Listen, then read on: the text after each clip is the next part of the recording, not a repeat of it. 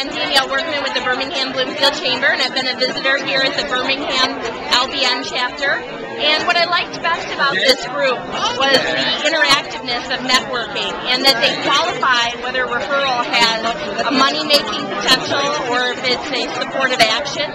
Um, I like to use an ancient Chinese proverb that says, man who side of mountain waiting for roast duck to fly in has a long wait. You've got to get out there and you've got to create your own opportunities, and this is a great way to do it.